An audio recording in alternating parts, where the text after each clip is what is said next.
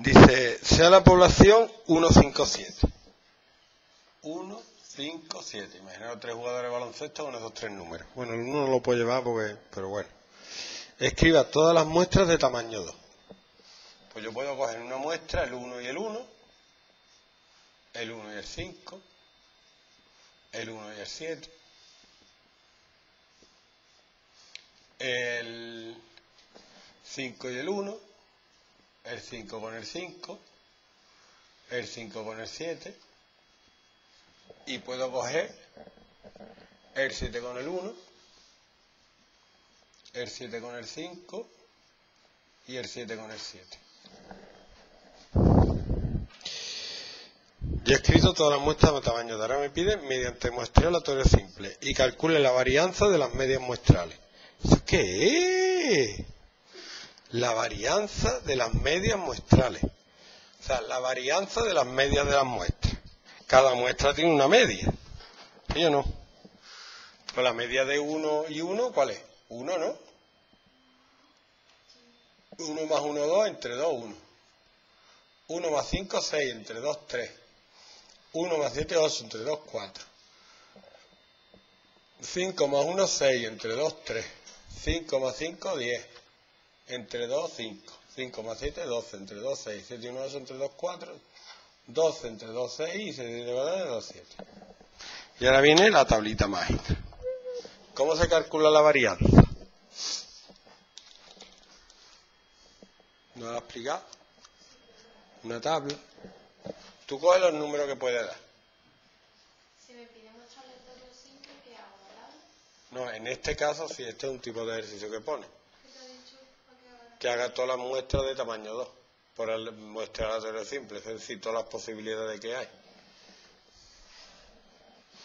De mezclar esos números. Y ahora me puede dar. Me puede dar. Me puede dar 1. Me puede dar 3. Me puede dar 4. La X que es, o sea, la E. Vamos, es la variable que estoy estudiando en este caso. Dar 1, 3, 4, 5, 6, 7. Y ahora pongo cuántas veces aparece cada una. Eso se llama la frecuencia absoluta. Por ejemplo, el 1 aparece una vez. El 3 aparece dos veces. El 4 aparece una, dos veces. El 5 aparece una vez.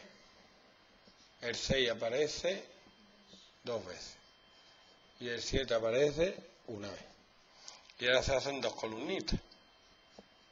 XY por FI, que sería multiplicar esto por esto, 1 por 1, 1.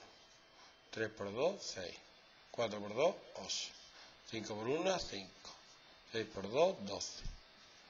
7 por 7, 49. Porque he puesto aquí 7, si es 1. 7 por 1, 7.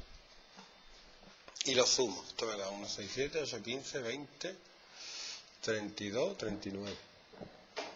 Bueno, pues la media que me hace falta para después es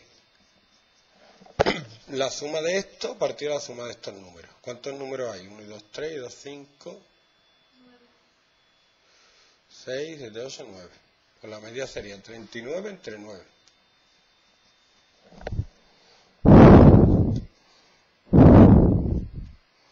Cuatro coma treinta y tres. Periodo. Voy a poner 4,33. Y para hacer la varianza se hace una columna que es x cuadrado por fi. Que yo, como soy un solo, ¿para que voy a hacer x al cuadrado? Multiplico esta por esta, pues está x x x al cuadrado por fi. 1 por 1, 1. 3 por 6, 18. 4 por 8, 32. 5 por 5, 25. 6 por 12, 72. 7 por 7, 49.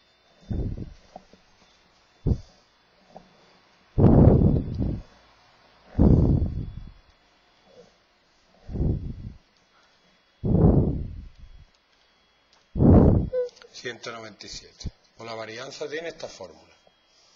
Es la suma de los xy cuadrado fi partido la suma de los fi menos la media al cuadrado. Sería la suma de esta columna, 197, entre 9 números que hay, menos 4,33 al cuadrado.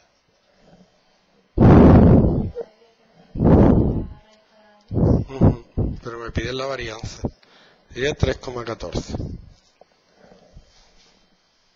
Uy, da pi, qué casualidad. Bueno, casi pi.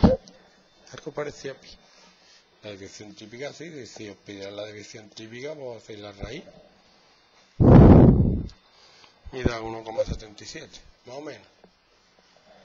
Son un tipo de ejercicio que es que están siempre igual.